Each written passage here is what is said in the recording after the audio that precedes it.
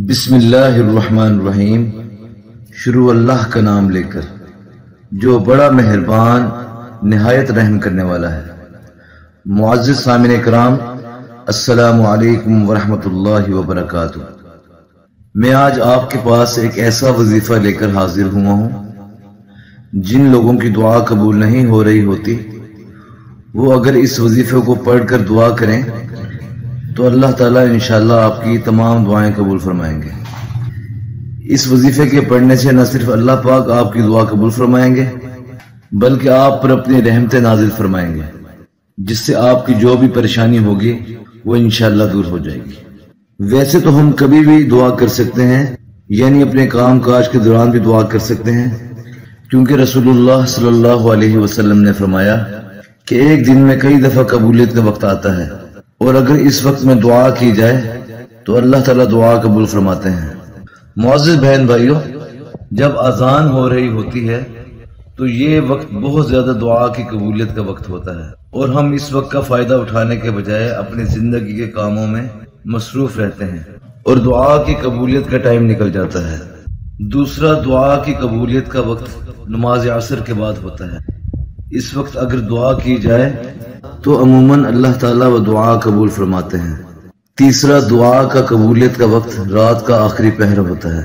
इस वक्त अल्लाह ताला पहले आसमान पर आते हैं और फरमाते हैं ए बंदे, मुझसे जो मांगना है मांग ले, मैं तुम्हें दूँगा।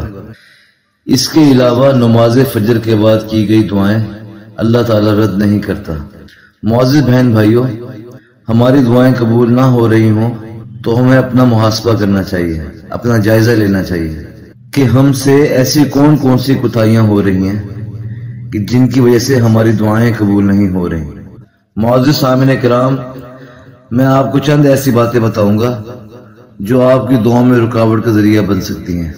पहली चीज़ है इखलास, कि जब भी आपने दुआ मांगनी है तो सिर्फ़ अल्लाह से मांगनी है, क्योंकि अल्लाह के अलावा कोई भी हमारी मुश्किलात दूर नहीं कर सकता।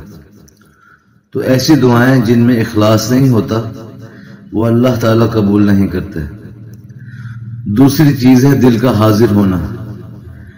यानी इंसान अल्लाह से जब भी दुआ मांगे, दिलो यकीन के साथ मांगे, क्योंकि दिल से निकली हुई दुआ कबूल होती है और इंसान को इतमान और सुकून भी हासिल होता है। तीसरी चीज़ है हलाल खाना, क्योंकि अल्लाह ताला हराम खाने वाले की दुआ कभी कबूल नहीं करता।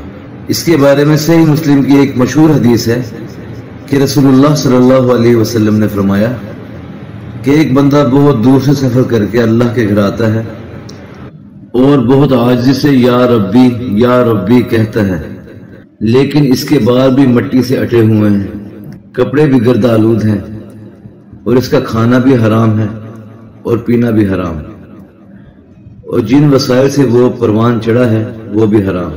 तो अल्लाह के नबी सल्लल्लाहु अलैहि वसल्लम ने फरमाया, अल्लाह इसकी दुआ क्यों कबूल करेगा? यानी, जो लोग सूद खाते हैं या किसी का हक मारते हैं, अल्लाह इनकी दुआ कबूल नहीं करता। चौथी चीज़ ये कि आप कभी भी अल्लाह के नाफरमानी वाले कामों की दुआ ना मांगे। जो चीज़ें इस्लाम में हमारे लिए हराम है, अल्लाह पाक से इन चीज़ों के लिए दुआ नहीं करनी चाहिए। इसके अलावा हमें जल्दबाजी नहीं करनी चाहिए। हमें थोड़ा सब्र तहमुल से काम लेना चाहिए। क्योंकि बाज़ दफ़ा दुआओं की देर से कबूल होने में भी अल्लाह की कोई ना कोई मसलियत होती है। इसके अलावा दुआ की कबूलियत के लिए दरूद एक ऐसा वजीफा है जो किसी सूरत रद्द नहीं। जो भी शख्स दुआ करने से पहले अस्तगफार करता है और अल्लाह की हमदो सना करने के बाद दरूशरी पढ़ता है और दुआ करता है तो वो दुआ अल्लाह ताला यकीन कबूल फरमाते हैं।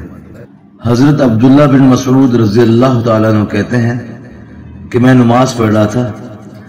नबी करीम सल्लल्लाहु अलैहि वसल्लम के साथ हज़रत अबू बकर सदीक रज़ी अल्लाह तु हज़रत उमर रज़ी अल्लाह तु भी तशरीफ़ फरमा थे मैं दुआ के लिए बैठा तो पहले अल्लाह की हमद सना की, फिर नबी सल्लल्लाहु अलैहि वसल्लम पर दरूद भेजा फिर आप सल्लल्लाहु अलैहि वसल्लम के लिए दुआ की। तो नबी करीम सल्लल्लाहु अलैहि वसल्लम ने फरमाया, इस तरह अल्लाह से मांगो, ज़रूर दिए जाओगे। दोबारा फरमाया, अल्लाह से मांगो, ज़रूर दिए जाओगे। सुबहान अल्लाह इसी तरह हज़रत अनस रज़ी अल्लाह तु कहते हैं, रसूलुल्लाह सल्लल्लाहु अलैहि वसल्लम ने फरमाया कि जब तक नबी सल्लल्लाहु अलैहि वसल्लम पर दुरूद ना भेजा जाए कोई दुआ कबूल नहीं की जाती। हज़रत अनस रज़ी अल्लाह तु कहते हैं, रसूलुल्लाह सल्लल्लाहु ने फरमाया, जिसने मुझ पर एक मरतबा दरूद भेजा, अल्लाह ताला उस पर दस रहमतें नाजिर फरमाएगा, उसके दस गुनाह माफ़ फरमाएगा और दस दर्जात बुलंद फरमाएगा। सुबहान अल्लाह तो मुआज़ बहन भाइयों दरूज शरीफ के और बहुत से फजाइल हैं।